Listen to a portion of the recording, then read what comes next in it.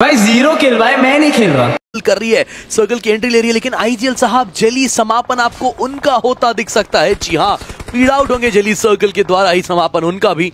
But in सब चीज़ों में आप टीम ग्लोबल ई स्पोर्ट्स को देखिए छह फिनिशेस और रोका किसने टीम गॉड लाइक ने जॉनथन का एक अच्छा डीवीएस का फटका। निंजा बॉय का करेगा डाउन बाकी के प्लेयर्स वो चढ़ना चाहेंगे ज़रूर से बट उन्हें स्प्रे गॉड तंग करेंगे। और लीजिए स्प्रे गॉड के द्वारा ट्राई को भी डाउन किया जाएगा। टीम गॉडलाइक के साथ भी दिक्कतें Jonathan is going for the spray is going for the spray मवी को क्या ट्रेस कर पाएँगे? नहीं निकल गए मवी बट इस बीच स्प्रेगॉड ने जाते जाते अपना काम कर दिया। ट्राई आउट को भी समाप्त किया। अब जॉनथन एक आखिरी खिलाड़ी बचेंगे यहाँ पे और आईकू सोल आई गेस वो सफ़र खत्म करने के लिए फुल स्पीड आगे बढ़ रही है। बहुत ज़्यादा भारी मात्रा में मतलब एक नहीं दो नहीं तीन तीन प्लेस उनके ऊपर अभी के लिए टूटते नज़र आएँगे। लेकिन मान्या सोच समझ के ही आगे बढ़िएगा। वेटिंग थोड़ा सा गेम प्ले होना चाहिए बट जॉनथन अभी के लिए स्थिति यहाँ पर वन बी टू की होती है क्विकनेस दिखा रहे हैं। वो फरारी पीक बार बार कर रहे हैं, लेकिन जी नहीं, दोनों तरफ़ से एक तरफ़